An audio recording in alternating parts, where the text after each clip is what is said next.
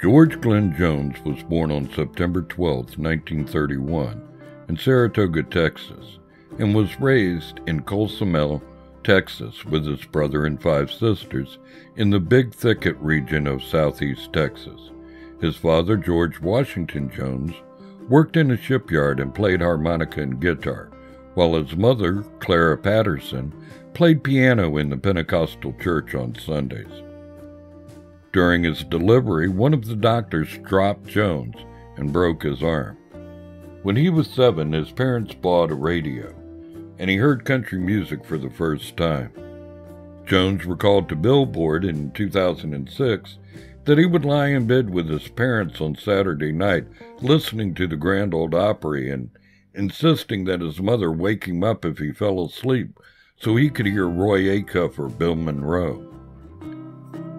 In his autobiography, I Live to Tell It All, Jones explained that the early death of his sister Ethel spurred on his father's drinking problem, and by all accounts, George Washington Jones could be physically and emotionally abusive to his wife and children when he drank. In the life and times of a honky tonk legend, Bob Allen recounts how George Washington Jones would return home in the middle of the night with his cronies, roaring drunk, wake up a terrified George Jones, and demand that he sing for them or face a beating.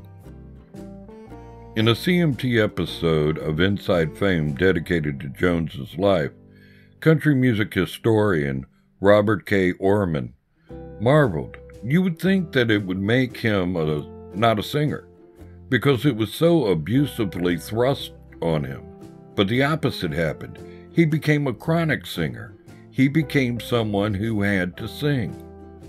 In the same program, Jones admitted that he remained oblivious and resentful towards his father up until the day he died, and observed in his autobiography the Jones family makeup doesn't sit well with liquor. Daddy was an unusual drinker. He drank to excess, but never while working and he probably was the hardest working man I've ever known. His father bought him his first guitar at age nine, and he learned his first chords and songs at church. And several photographs show a young George busking on the streets of Beaumont. He left home at 16 and went to Jasper, Texas, where he sang and played on the KTXJ radio station with fellow musician Dalton Henderson. From there, he worked at KRIC radio station. During one such afternoon show, Jones met his idol, Hank Williams. I just stared, he later wrote. In 1989 video documentary Same Old Me, Jones admitted, I couldn't think or eat nothing unless it was Hank Williams, and I couldn't wait for his next record to come out. He had to be really the greatest. He married his first wife, Dorothy Bonvillion, in 1950, but they divorced in 1951. He was enlisted in the United States Marines until his discharge in 1953. He was stationed in San Jose, California for his entire service. Jones married Shirley Ann Corley in 1954 his first record, the self penned No Money in This Deal, was recorded on January 19th and appeared in February on Starday Records, beginning the singer's association with producer and mentor H.W. Pappy Daly. The song was actually cut in Starday Records co founders Jack Starnes' living room and produced by Starnes. Jones also worked at KTRM, now KZZB, in Beaumont around this time. DJ Gordon Baxter told Nick Tosches that Jones acquired the nickname Possum while working there. One of the DJs there, Slim Watts, took to calling him George P. Williker Picklepuss Possum Jones.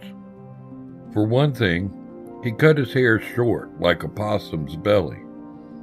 He had a possum nose and stupid eyes like a possum. During his early recording sessions, Daly admonished Jones for attempting to sound too much like his heroes, Hank Williams and Lefty Frizzell. In later years, Jones would have little good to say about the music production at Starday.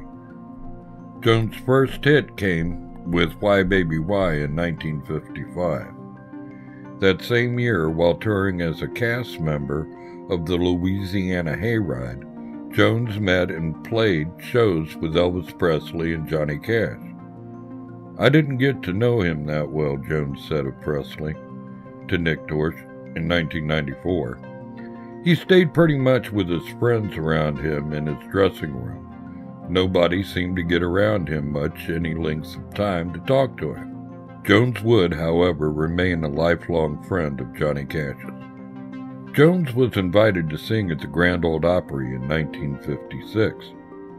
With Presley's explosion in popularity in 1956, pressure was put on Jones to cut a few rockabilly sides, and he reluctantly agreed.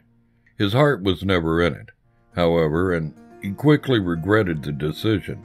In his autobiography, he joked, During the years when I encountered those records, I used them for frisbees. He explained to Billboard in 2006 I was desperate. When you're hungry, a poor man with a house full of kids, you're going to do some things you ordinarily wouldn't do. I said, Well, hell, I'll try anything once. I tried Dadgum, It How Come It, and Rock It, and a bunch of shit. I didn't want my name on the rock and roll thing, so I told him to put Thumper Jones on it. And if it did something good, if it didn't hell, I didn't want to be shamed with it. Jones went on to say he successfully attempted to buy all the masters to keep the cuts from surfacing later, which they did. Jones moved to Mercury in 1957. In early 1957, Jones teamed up with singer Jeanette Hicks, the first of several duet partners he would have over the years, and enjoyed yet another top 10 single with Yearning. Starday Records merged with Mercury that same year, and Jones scored high marks on the charts with his debut Mercury release of Don't Stop the Music.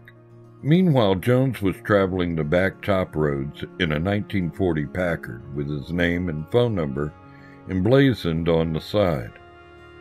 Although he was garnering a lot of attention and his singles were making very respectable showings on the charts, Jones was still playing the blood bucket circuit of honky tonks that dotted the rural countryside. In 1959, Jones had his first number one on the Billboard Country chart with White Lightning, ironically, a more authentic rock and roll sound than his half hearted rockabilly cuts. In the same old me retrospective, Johnny Cash insisted George Jones would have been a really hot rockabilly artist if he had approached it from that angle. Well, he was really, but never got credit for it. White Lightning was written by J.P. Richardson. One aspect of Jones's early career that might be overlooked is his success as a songwriter. He wrote or co wrote many of his biggest hits during this period, several of which have become standards, such as Window Up Above, later a smash for Mickey Gilley in 1975, and Seasons of My Heart, a hit for Johnny Cash, and also recorded by Willie Nelson and Jerry Lee Lewis. Jones wrote just one more, also recorded by Cash, Life to Go, a top five hit for Stonewall Jackson in 1959. You Gotta Be My Baby, and Don't Stop the Music, on his own, and had a hand in writing Color of the Blues, covered by Loretta Lynn and Elvis Costello, Tender Years, and Tall Tall Trees, co written with Roger Miller. Jones' most frequent songwriting collaborator was his childhood friend Darrell Edwards. Jones signed with United Artists in 1962 and immediately scored one of his biggest hits of his career, She Thinks I Still Care. His voice had grown noticeably deeper during this period, and he began cultivating the singing style that became uniquely his own. During his stint with UA, Jones recorded tribute albums to Hank Williams and Bob Wills, and cut an album of duets with Melba Montgomery, including the hit We Must Have Been Out of Our Minds. Jones was also well on his way to gaining a reputation as a notorious hellraiser.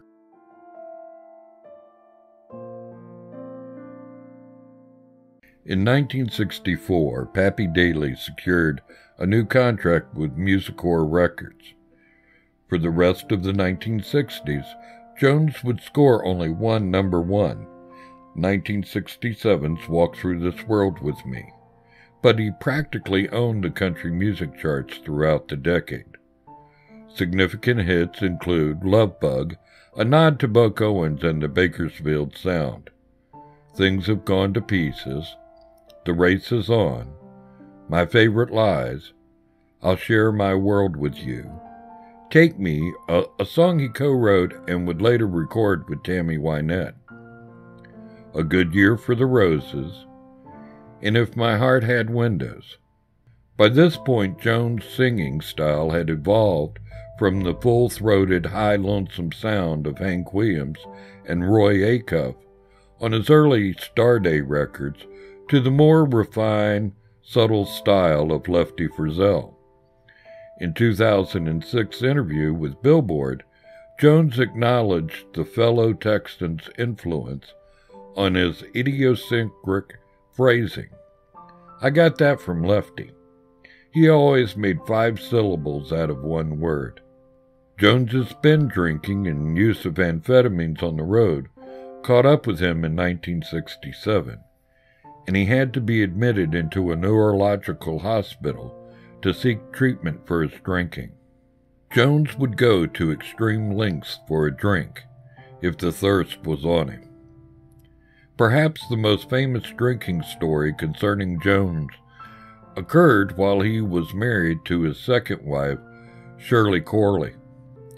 Jones recalled Shirley making it physically impossible for him to travel to Beaumont, located eight miles away, to buy liquor.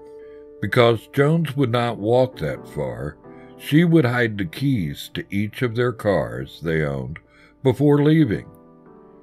She did not, however, hide the keys to the lawnmower. Upset, Jones walked to the window and looked over his property. He later described his thoughts in his memoir. There, gleaming in the glow, was the 10 horsepowered rotary engine under a seat a key glistening in the ignition. I imagine the top speed for that old mower was five miles per hour. It might have taken an hour and a half or more for me to get to the liquor store, but get there I did. Years later, Jones comically mocked the incident by making a cameo in the video for All My Rowdy Friends Are Coming Over Tonight by Hank Williams Jr. He also parodied the episode in the 1993 video for One More Last Chance by Vince Gill, and in his own music video for the single Honky Tonk Song in 1996. Curiously, in her 1979 autobiography, Stand By Your Man, Tammy Wynette claimed the incident occurred while she was married to Jones, maintaining that she woke up at 1 o'clock in the morning to find her husband gone. I got into the car and drove to the nearest bar 10 miles away. When I pulled into the parking lot, there sat our rider mower right by the entrance. He'd driven that mower right down a main highway. He looked up and saw me and said, Well, fellas, here she is now, my little wife. I told you she'd come after me. Jones became aware of Tammy Wynette because their tours were booked by the same agency and their paths sometimes crossed after Wynette's first minor hit, Apartment Number 9, in 1966, which was written by Johnny Paycheck. Wynette was married to songwriter Don Chappell, who was also the opening act for her shows at the time. The three became friends, but eventually Jones took more than a passing fancy to Wynette, who was 11 years his junior, and grew up listening to all his records. According to his autobiography, Jones went to their house for supper, and while she was fixing the meal, Wynette and Chappell got into a heated exchange with Chappell, calling his wife an SOB. Jones wrote, I felt rage fly all over me. I jumped from my chair, put my hands under the dinner table, and flipped it over. Dishes, utensils, and glasses flew in all directions. Don and Tammy's eyes got about as big as the flying dinner plates. Jones professed his love for Wynette on the spot, and the couple married in 1969. They began touring together, and Jones bought out his contract with Musicor so he could record with Tammy and her producer Billy Sherrill on Epic Records. The singer had split with longtime producer Pappy Daly on acrimonious terms. Jones and Wynette became known as Mr. and Mrs. Country Music in the early 1970s, scoring several big hits including We're Gonna Hold On, Let's Build a World Together, Golden Ring, Near You, and We're Not the Jet Set. When asked about recording Jones and Wynette, Sherrill told Dan Daly in 2002, It did increase my scotch intake some. We started out trying to record the vocals together, but George drove Tammy crazy with his phrasing. He never ever did it the same way twice. He could make a five syllable word out of church. Finally, Tammy said, Record George and let me listen to it and then do my vocals after we get his on tape. Tammy was a very quick study. In October of 1970, shortly after the birth of their only child, Tamala Georgette, Jones was straitjacketed and committed to a padded cell at the Watson Clinic in Lakeland, Florida, after a drunken bender. He was kept there to detoxify for 10 days before being released with a prescription for Librium. Jones managed longer stretches of sobriety with Wynette than he had enjoyed in years.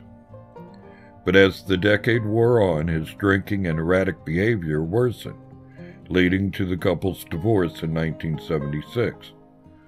Jones accepted the responsibility for the failure of the marriage, but vehemently denied Wynette's allegation in her autobiography that he beat her and fired a shotgun at her. Remarkably, Jones and Wynette continued playing shows and drawing crowds in the years after their divorce, as fans began to see their songs mirroring their stormy relationship. In 1980, they recorded the album Together Again and scored a hit with Two Story House. In the 2019 Ken Burns documentary Country Music, Sherrill remembered this time by comparing Jones and Wynette to two wounded animals.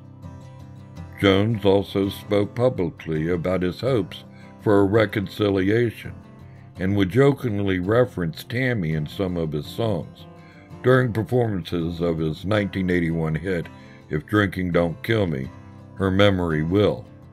He would sing Tammy's Memory Will. After years of sniping, Jones and Wynette appeared to make peace in the 1990s, recording a final album, and even touring together again before Wynette's death in 1998. In 1995, Jones told Country Weekly, like the old saying goes, it takes time to heal things, and they've been healed quite a while. In the late 1970s, Jones spiraled out of control Already drinking constantly, a manager named Shug Baggett introduced him to cocaine before a show because he was too tired to perform. The drug increased Jones' already considerable paranoia. During one drinking binge, he shot at and very nearly hit his friend, an occasional songwriting partner, Earl Peanut Montgomery, after Montgomery had quit drinking after finding religion. Jones was often penniless and acknowledged in his autobiography that Waylon Jennings and Johnny Cash came to his financial aid during this time. Jones also began missing shows at an alarming rate, and lawsuits from promoters started piling up. In 1978, owing Wynette $36,000 in child support and claiming to be $1 million in debt, he filed for bankruptcy. Jones appeared incoherent at times, speaking in quarreling voices that he would later call the duck and the old man.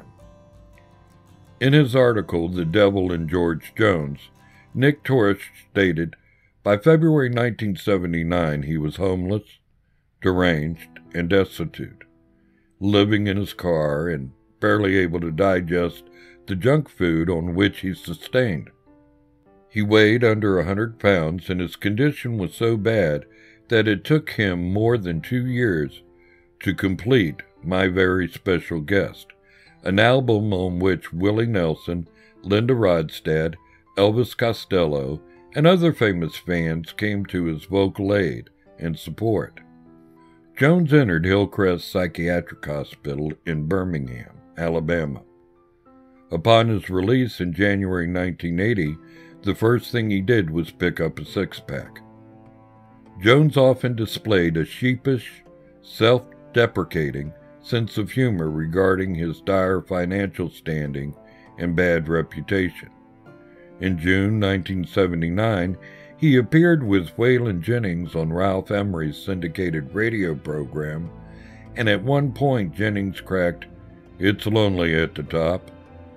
A laughing Jones replied, it's lonely at the bottom, too. It's real, real lonely, Waylon.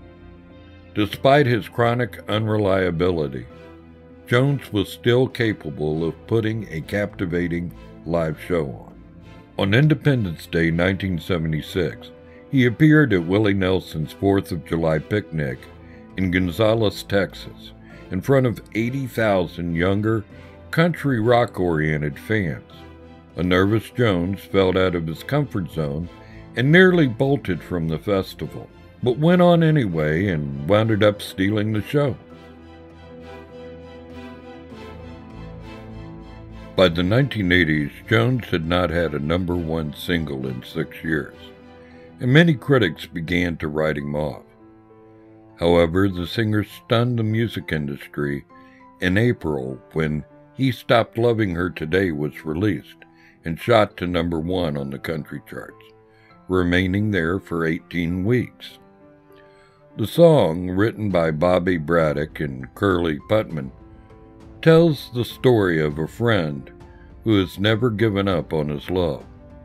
He keeps old letters and photos from back in the day and hangs on to hope that she would come back again. The song reaches its peak in the chorus revealing that he indeed stopped loving her when he died. And the woman does return for his funeral. Jones' interpretation, buoyed by his delivery of the line, First time I seen him smile in years, gives it a mournful, gripping realism. It is constantly voted as one of the greatest country songs of all time along with I'm So Lonesome I Could Cry by Hank Williams and Crazy by Patsy Cline. According to producer Billy Sherrill and Jones himself, the singer hated the song when he first heard it. In Bob Allen's biography of the singer, Sherrill states he thought it was too long, too sad, too depressing, and that nobody would ever play it. He hated the melody and wouldn't learn it. Sherrill also claimed that Jones frustrated him by continually singing the song to the melody of the Kris Kristofferson hit Help Me Make It Through the Night. In the Same Old Me retrospective, Sherrill recalls a heated exchange during one recording session. I said, That's not the melody. And he said, Yeah, but it's a better melody. I said, It might be, Kristofferson would think so too. It's his melody.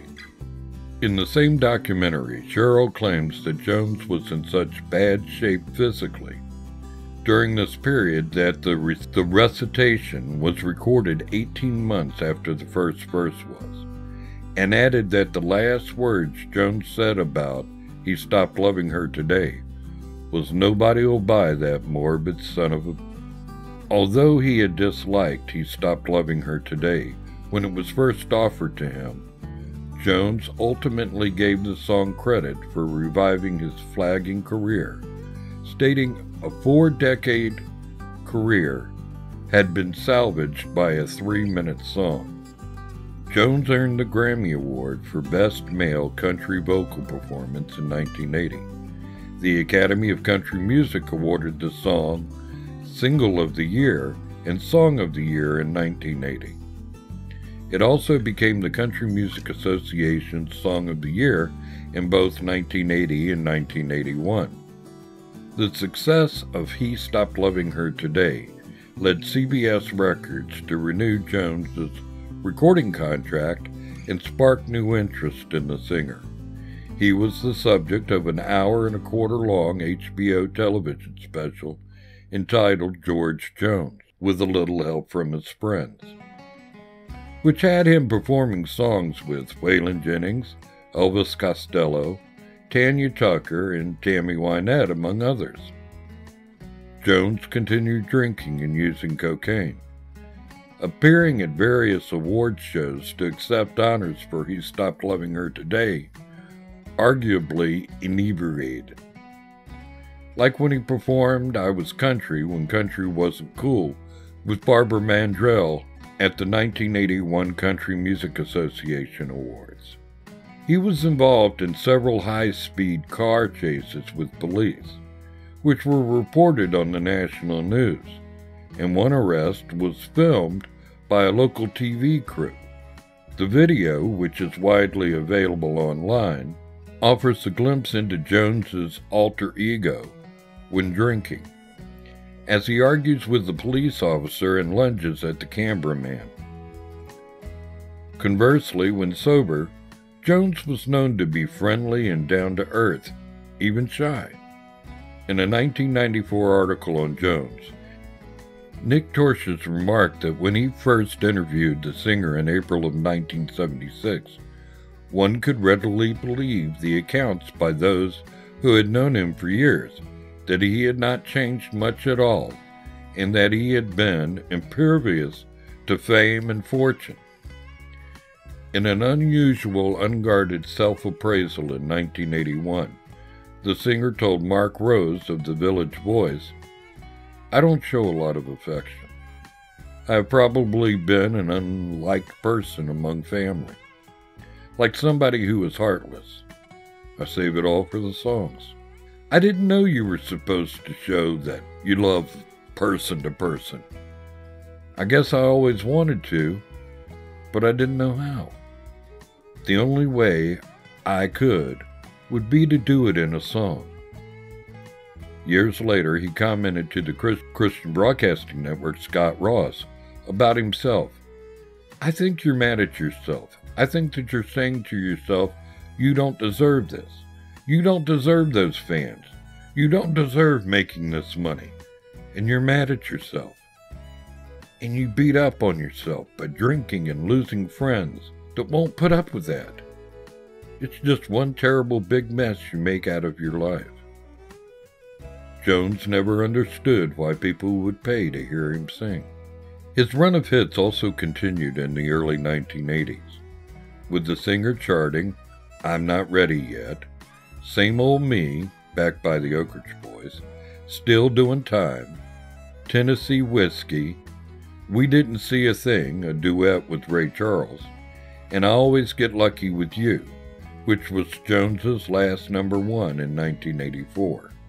In 1981, Jones met Nancy, I'm not even going to try to pronounce her last name, a 34 year old divorcee from Mansfield, Louisiana.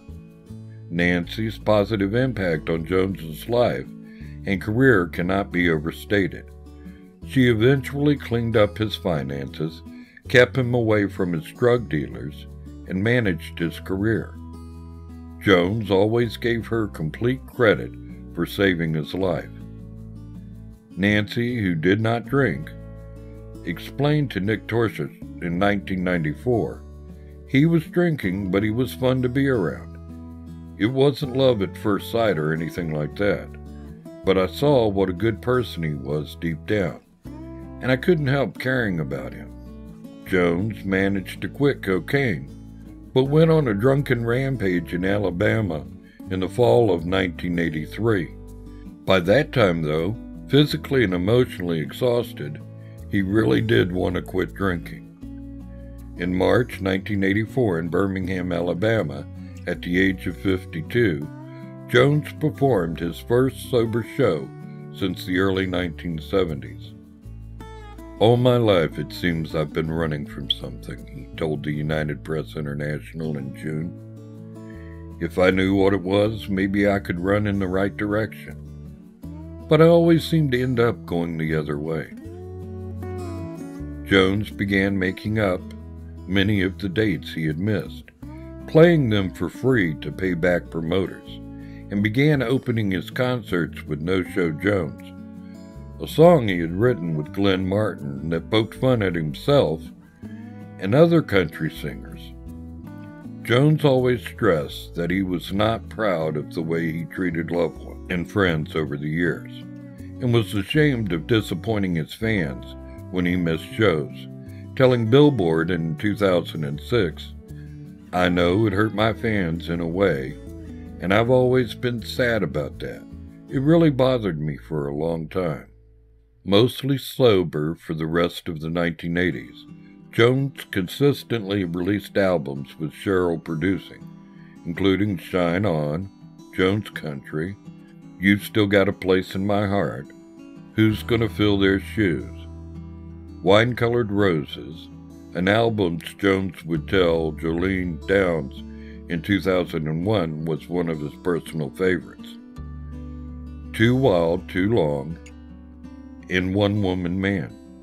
Jones' video for his 1985 hit, Who's Gonna Fill Their Shoes, won the CMA Award for Video of the Year.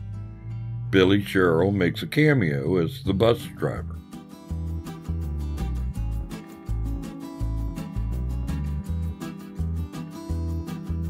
In 1990, Jones released his last proper studio album on Epic, You Ought to Be Here With Me. Although the album featured several stirring performances, including the lead single, Hell Stays Open All Night Long, and the Roger Miller penned title song, the single did poorly and Jones made the switch to MCA, ending his relationship with Sherrill and what was now Sony Music after 19 years. His first album with MCA, and Along Came Jones, was released in 1991 and backed by MCA's powerful promotion team and producer Kyle Lehning, who had produced a string of hit albums for Randy Travis. The album sold better than his previous one had. However, two singles, You Couldn't Get the Picture, and She Loved a Lot in Her Time, a tribute to Jones's mother Clara, did not crack the top 30 on the charts. As Jones lost favor with country music radio, as the format was altered radically during the 1990s. His last album to have any significant radio airplay was in 1992's Walls Can Fall, which featured the novelty song Finally Friday and I Don't Need Your Rocking Chair, a testament to his continued vivaciousness in old age.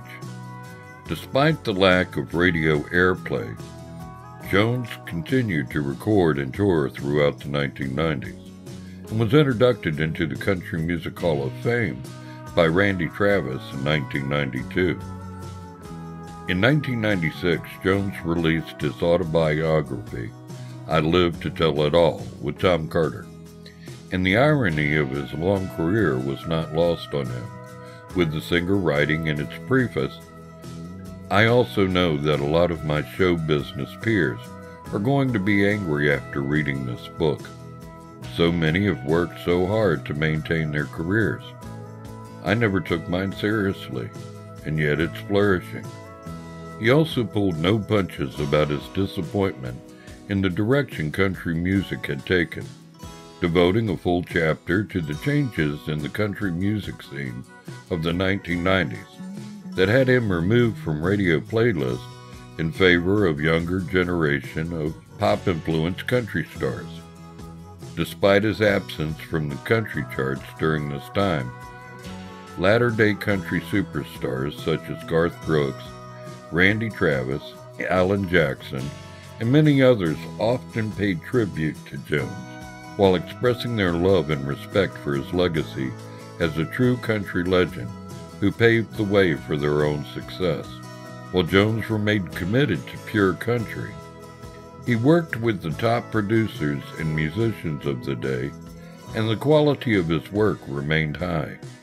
Some of his significant performances included I Must Have Done Something Bad, Wild Irish Rose, Billy B. Bad, a sarcastic jab at country music's establishment trendsetters, A Thousand Times a Day, When the Last Curtain Falls, and the novelty song High Tech Redneck. Jones' most popular song in his later years was Choices, the first single from his 1999 studio album Cold Hard Truth. A video was made for the song, and Jones won another Grammy for Best Male Country Vocal Performance. The song was at the center of controversy when the Country Music Association invited Jones to perform it on the awards show, but required that he perform an abridged version. Jones refused and did not attend the show. Alan Jackson was disappointed with the association's decision, and halfway through his own performance during the show, he signaled to his band and played part of Jones's song in protest. On March 6, 1999, Jones was involved in an accident when he crashed his sport utility vehicle near his home. He was taken to the Vanderbilt University Medical Center, where he was released two weeks later. In May of that year, Jones pleaded guilty to drunk driving charges related to the accident. In his memoirs, published three years earlier, Jones admitted that he sometimes had a glass of wine before dinner and that he still drank beer occasionally, but insisted I don't squirm in my seat, fighting the urge for another drink, and speculated perhaps I'm not a true alcoholic in the modern sense of the word. Perhaps I was just an old fashioned drunk. The crash was a significant turning point, as he explained to Billboard in 2006. When I had that wreck, I made up my mind. It put the fear of God in me. No more smoking, no more drinking. I didn't have to have no help. I made up my mind to quit. I don't crave it. After the accident, Jones went on to release the Gospel Collection in 2003, for which Billy Sherrill came out of retirement to produce. He appeared at a televised Johnny Cash memorial concert in Jonesboro, Arkansas in 2003, singing Big River with Willie Nelson and Kris Kristofferson. In 2008, Jones received the Kennedy Center honors along with Pete Townshend and Roger Daltrey of The Who, Barbra Streisand, Morgan Freeman, and Twyla Tharp. President George W. Bush disclosed that he had many of Jones's songs on his iPod. Jones also served as judge in 2008 for the 8th Annual Independent Music Awards to support independent artists' careers. And Rolling Stone named him number 43 in their 100 Greatest Singers of All Time issue. An album titled Hits I Missed and Ones I Didn't in which he covered hits he had passed on, as well as remakes of his own He Stopped Loving Her Today, would be released as his final studio album. In 2012, Jones received the Grammy Lifetime Achievement Award. On March 29, 2012, Jones was taken to the hospital with an upper respiratory infection. Months later, on May 21st, Jones was hospitalized again for his infection and was released five days later. On August 14, 2012, Jones announced his farewell tour, the Grand Tour, with scheduled stops at 60 cities. His final concert was held in Knoxville at the Knoxville Civic Coliseum on April 6, 2013. Jones was scheduled to perform his final concert at the Bridgestone Arena on November 22, 2013. However, on April 18, 2013, Jones was taken to VUMC for a slight fever and irregular blood pressure. His concerts in Alabama and Salem were postponed as a result. Following six days in intensive care at VUMC, Jones died on April 26, 2013, at age 81. According to Boot.com, his wife, Nancy, described his final words. We were standing at the foot of his bed, and George just hadn't said nothing, and all of a sudden he opened his eyes, and I was fixing to go towards him, and the doctor kind of held me back. And George said, Well, hello there. I've been looking for you. My name's George Jones. Within moments, the 81 year old was gone. He closed his eyes, and that was the end of it. Nancy Jones explains, so in my heart, I know he was talking to God. With that, we lost a legend. George Jones was buried in Woodlawn Cemetery in Nashville. His death made headlines all over the world. Many country stations, as well as a few of the other formats, such as oldies and classic hits, abandoned or modified their playlist and played his songs throughout the day. The week after Jones's death, He Stopped Loving Her Today re entered the Hot Country song at number 21. Thank you. Thanks for watching. Please like and subscribe. Sure would help us out a lot with YouTube.